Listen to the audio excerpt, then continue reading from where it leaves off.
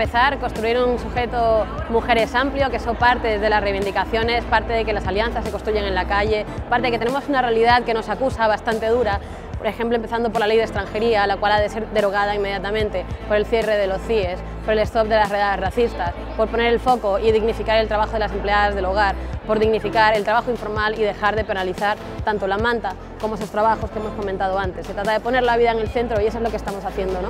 en una revolución permanente, en una constante movilización, ocho días de revuelta, superando o desbordando la idea clásica de una huelga tradicional. Estamos en un momento político importante como muy crucial.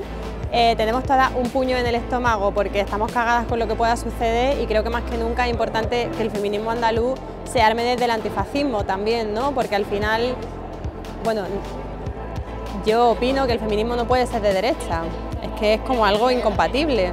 Entonces tenemos que articular muy bien los discursos desde los lugares de la izquierda, del anarquismo, porque es que si no... Eh, nos van a comer, ¿no? o como que creo que dentro del feminismo tenemos que articular mucho el discurso desde ahí y por supuesto el resto de sectores de izquierda.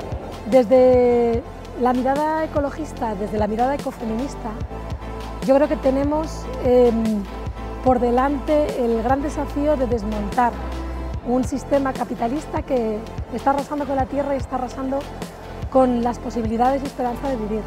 Y está arrasando además de manera desigual con sesgo de clase, con sesgo de raza y con sesgo de género.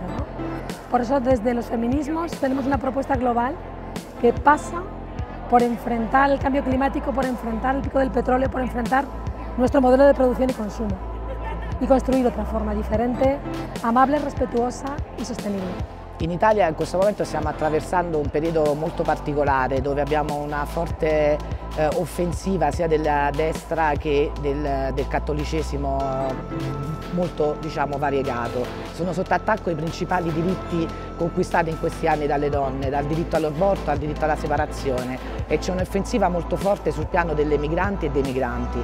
Come non una di meno abbiamo lanciato uno stato d'agitazione permanente che da, diversi, da, diverso tempo, a partire dallo scorso 24 novembre, ci sta accompagnando in questa lotta fino al, all'8 marzo. Una lotta in cui proviamo a rispondere attacco per attacco a tutte diciamo, le principali mosse che questo governo sta eh, portando avanti. Queste sono le sfide che oggi ci poniamo e questo sarà anche l'obiettivo del prossimo 8 marzo, in cui anche in Italia costruiremo lo sciopero globale femminista. Uno sciopero che sarà in tutte le scuole, in tutte le università, in tutte le piazze, in tutti i luoghi di lavoro. Uno sciopero che insieme con tutte le donne del mondo ci porterà a chiedere un cambiamento dello stato attuale delle cose, delle cose esistenti.